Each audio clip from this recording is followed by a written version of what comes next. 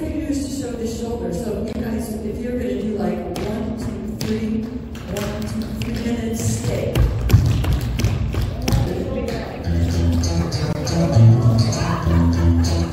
Thank you.